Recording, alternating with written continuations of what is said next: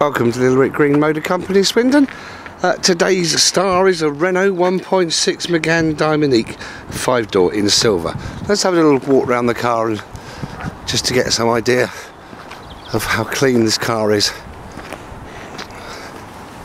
The Car is registered on the 20th of the 7th 2007 and has done 40,098 miles. Nice shape these Meganes did a lot of advertising with reference to the, the way of the boot but one thing you do have with it because uh, the way they've done the boot shape is a is a nice big boot. Let's just open it up so you can see in there. A lot of space to be fair. A lot of space in the car. Um, this car does benefit from a full service history. Uh, it also has just been serviced by us on uh, on the 6th and we done a complete four-wheel alignment on all the wheels. We do that as part of our standard check. Also we had to put two new tyres on the front which we've done and it did have new uh, rear brake pads. It is currently MOT until the 1st of August 2013. Let's get a bit closer and have a look. I've got to say it's very difficult to find anything particularly wrong with this vehicle. The uh, current road fund licence is until let's have a look. The 31st of August 2013 and the car will benefit from having that staying on the car.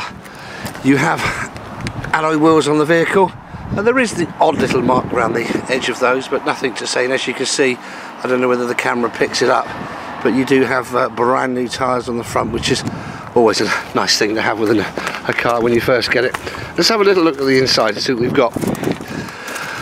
Nice black and grey cloth interior um, you do have a key start system with this and I'm uh, a push button start and I'm very pleased to say I've just put the key on the on the seat so you can have a look at it.